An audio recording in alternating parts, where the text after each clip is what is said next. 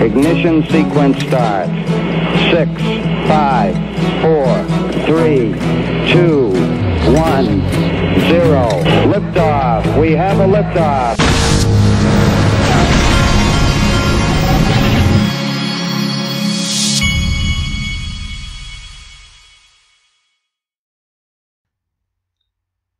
Hey everybody, this is the Digital Asset Investor and I am keeping it down a little bit because I woke up at 4:30 this morning. Now it's 5:30 now, but I woke up so early is and that's because a lot of times when you start seeing bull runs, not just I will be waking up early, but you will be waking up early because it gets kind of exciting. You'll be rolling over in the middle of the night and checking prices and it's just you know, just gets a lot more exciting. And so it happens. I'm, I'm having to keep my voice down a little bit because I have kids that are asleep. So I don't want to wake them up. But let's start off with this um, coin market cap. It's a good place to start. And here, here's what's interesting. And I'm going to uh, go down to XRP here. We're at about 31 cents. Uh, to my understanding is that XRP had gotten up as high as about 33 cents or so last night it came down not by itself, but with the entire market. The, the total market cap had gotten up as high as 300 and something billion, billion. I think 304, or 305 billion in the total market. But what we're looking at now looks like a pretty healthy pullback. Now, let's move on. I wanted to show you um, some of the results of the of the little run we had yesterday. Um, and this is very common too. For those of you that are new to this, you, you have to understand that you you will start to see sites go down and things like this as as these uh, bull runs happen. Here's one example. Yesterday, Fiat Leak, which is one of the sites that we watch prices on, site alert, the site is wobbling and staggering under the combined weight of many, many thousands of XRP fanatics watching a technical breakout. We're working on it, but keep trying you can't break the site any more than you already are. and then they, um, I'm not sure what the the uh, sys admins, okay, just presented an appalling temper about the uh, call to action in this tweet. um, but anyway, these guys are very smart to add XRP into this uh, tweet because they they know how ferocious the XRP community is. So that's good to see. Um, XRP Honey Bear. Now, I wanted to give you a disclaimer here. Uh, for those of you that don't know, I'm not a chart guy, but there's there's a handful of people that do uh, trade and, and follow charts that I'll show every once in a while. The Joker is one of them. This is the Joker's tweet from today, actually. In January 16th, wave three target given, and he's talking about XRP, 33 cents. Good job, XRP. It went uh, 0.005 further. Now in wave four, it indicates a buying opportunity. Wave five will send XRP to 40 to 50 cents. Well done, Joker. Thanks for following. And he's showing you his tweet from January 16th here. And then this is another tweet. XRP target three is almost here. Target uh, wave four is a good chance to add in this run up. Then fasten your seatbelt to target five. And if you look at his targets, um, his targets, so he's showing us going up to 33 cents, and then he says we'll have a pullback, um, and then he says wave five takes you up to the, that 40 to 50 cent range. But anyway, I thought that's it. those are interesting to look at every once in a while.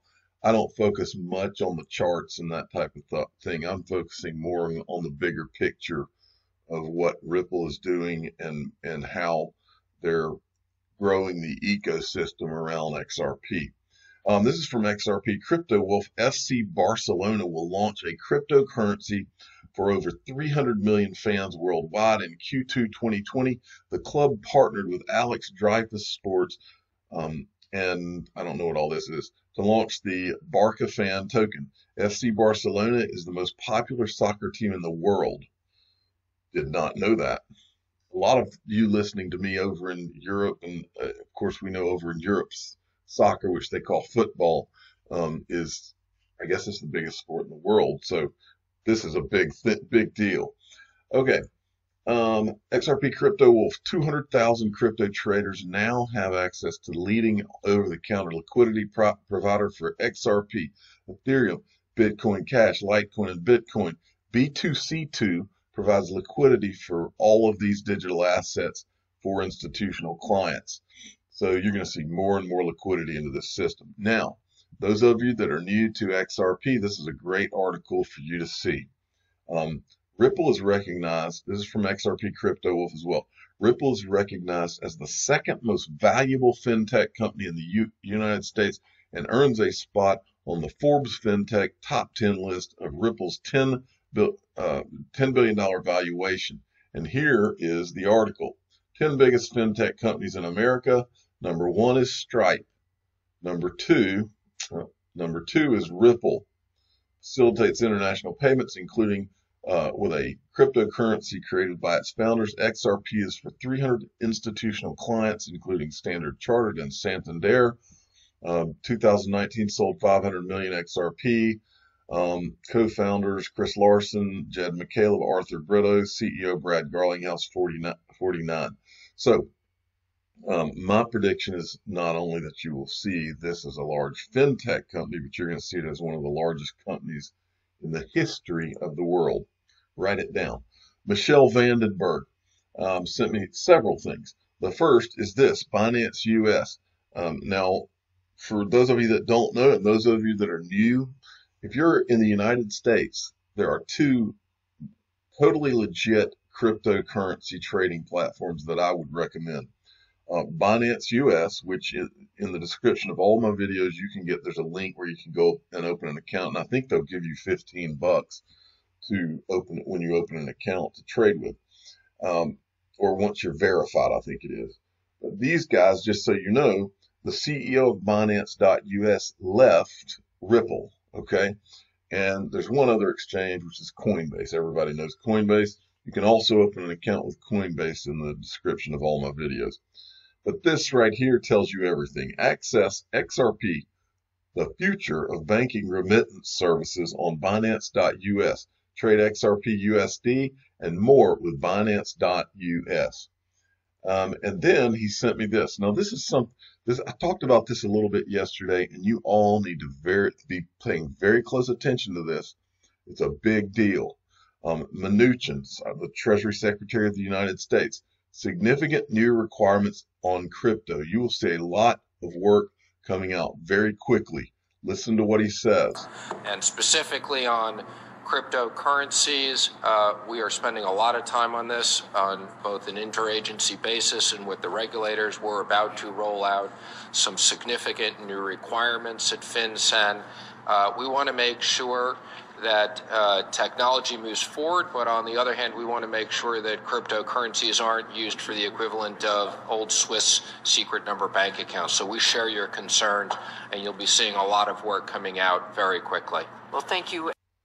Okay, so you you have been put on full notice, folks, um, and, and this is a little mu- little more on that um, from XRP Crypto Wolf. U.S. Treasury Secretary Steven Mnuchin told Congress that FinCEN is set to release new requirements.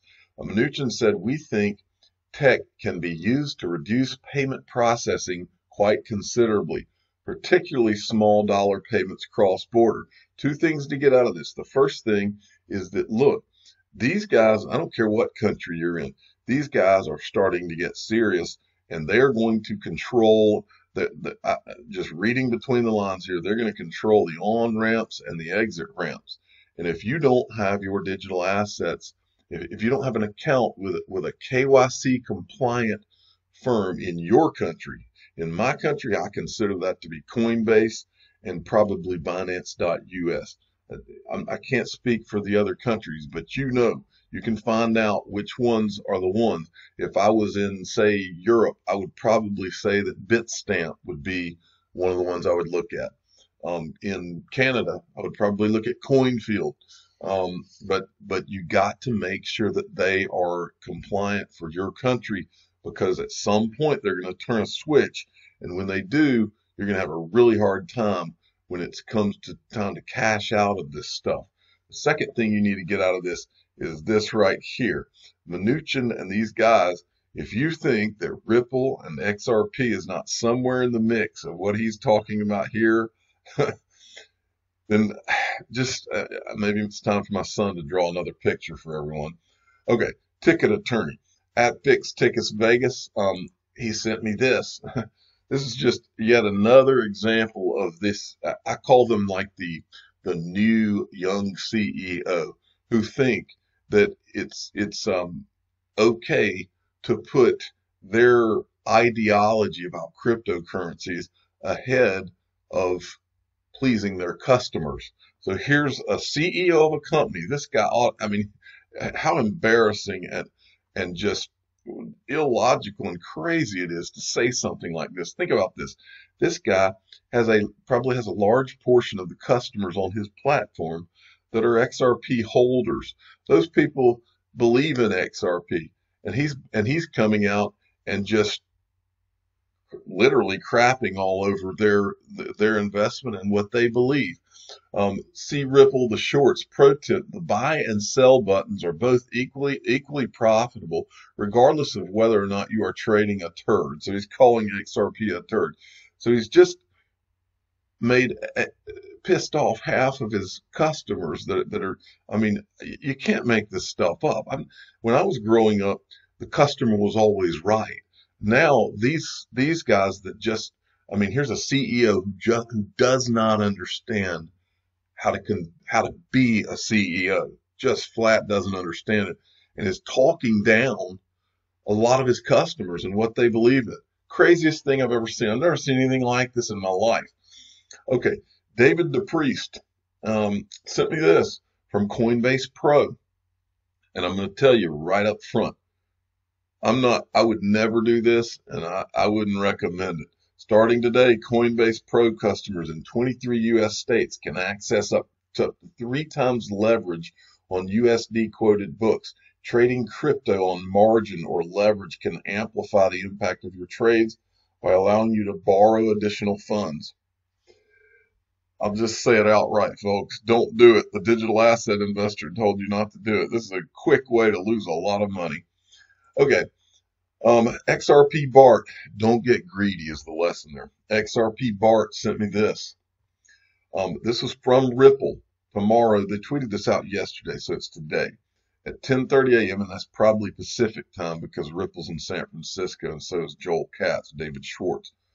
Uh, Joel Katz, who is David Schwartz, the CTO of Ripple, joins Dev Week 2020 to discuss how all developers not just specific to blockchain, can build payments into their apps and enable a future of easy transactions between anyone, anywhere, using any currency. This guy, anytime he speaks, it's always good to listen. So go and listen to that. Okay. Um, Nada, I guess is how you would say that, sent me this. This was funny.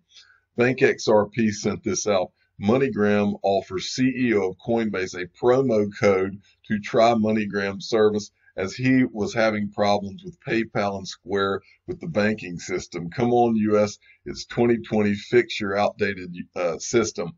Now, there's a lot of history here. Many of you were around when Brian Armstrong, he took forever to add XRP to the platform. And I don't, to my knowledge, they don't use XRP for um, their payments or, you know, moving money or anything as of now. Maybe they do. But I saw this as MoneyGram saying, "Hey, Brian, we're using XRP. Um, we can get all this done," and maybe also taking a shot at the PayPal's of the world, talking about how efficient that they are now. MoneyGram, literally, with Ripple being an investor and using on-demand liquidity, has gone to a fledgling company. I think that's the right word. Um, to not only the stock price going up, but now they're almost getting confident, if not cocky, in what they're doing. And why wouldn't they? Okay, X, AdX Lighting the Way sent me this. And I just wanted to mention this to many of you out there. Um, in the past, I had mentioned Hedera Hashgraph, and the, the Hedera Hashgraph, when it when it came out, it, the price had tanked initially.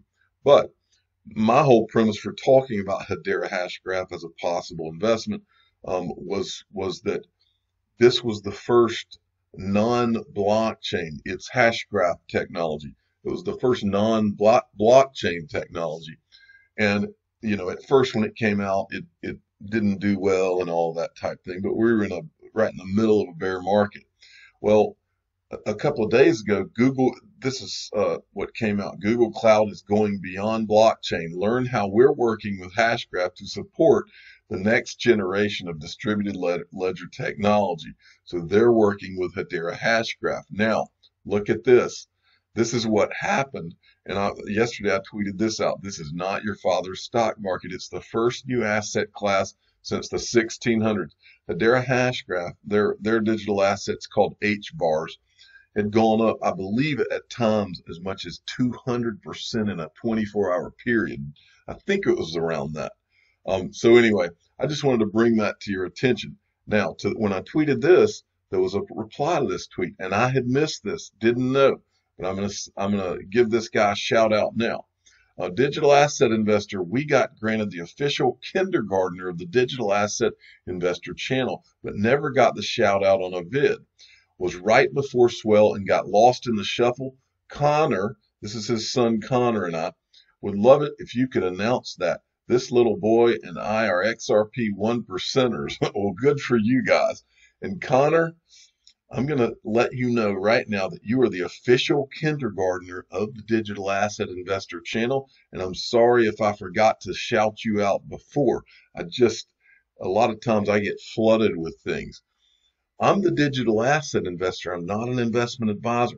This is for entertainment purposes only. Please subscribe and hit the like button and tell your friends and family that Connor is a one percenter and he's the official kindergartner of the Digital Asset Investor channel. Thank you for listening.